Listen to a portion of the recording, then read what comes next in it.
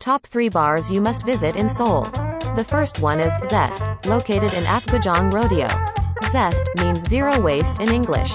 And within just two years of its opening, it made its way to the Asia's Best Bars 50 list. The second one is Myeongdong Sookhee, situated in Myeongdong. The interior design of this bar is inspired by the Jeongjeon Palace from the Joseon dynasty. It was even featured in the New York Times as a bar with a traditional yet hip interior. The third one is Charles H., located in Jongno. This speakeasy bar is found within the Four Seasons Hotel Seoul. To access it, you pass through the hotel lobby and enter through a hidden door. It exudes a well-organized and classic ambiance. Not only was it selected for the Asia's Best Bars 50 list in 2022, but it also secured an impressive seventh position.